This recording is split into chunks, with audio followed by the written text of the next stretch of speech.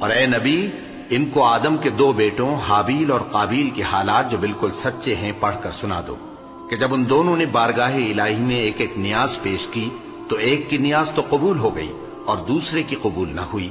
تب قابیل حابیل سے کہنے لگا کہ میں تجھے قتل کر دوں گا۔ اس نے کہا کہ اللہ پرہیزگاروں ہی کی نیاز قبول فرمایا کرتا ہے۔ اگر تو مجھے قتل کرنے کے لیے مجھ پر ہاتھ چلائے گا، تو میں تجھ کو قتل کرنے کے لیے تجھ پر ہاتھ نہیں چلاؤں گا۔ مجھے تو اللہ رب العالمین سے ڈر لگتا ہے۔ میں چاہتا ہوں کہ تو میرے گناہ کو بھی سمیٹ لے اور اپنے گناہ کو بھی۔ پھر تو اہل دوزخ میں سے ہو جائے اور ظالموں کی یہی سزا ہے۔ آخر اس کے یعنی قابیل کے نفس نے اس کو اپنے بھائی کے قتل ہی کی ترغیب دی تو اس نے اسے قتل کر دیا۔ پھر خسارہ پانے والوں میں ہو گیا۔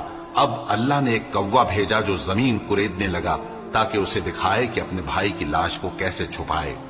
کہنے لگا، ہائے کمبختی مجھ سے اتنا بھی نہ ہو سکا کہ اس کوے جیسا ہی ہوتا کہ اپنے بھائی کی لاش چھپا دیتا. پھر وہ پشیمان ہو گیا۔ اس قتل کی وجہ سے ہم نے بنی اسرائیل کے ذمے یہ بات لکھ دی کہ جو شخص کسی کو ناحق قتل کرے گا یعنی بغیر اس کے کہ جان کا بدلہ لیا جائے یا ملک میں خرابی کرنے کی سزا دی جائے، تو اس نے گویا تمام انسانوں کو قتل کیا اور جو ایک انسان کی جان بچا لے تو گویا اس نے سارے انسانوں کو زندگی دے دی۔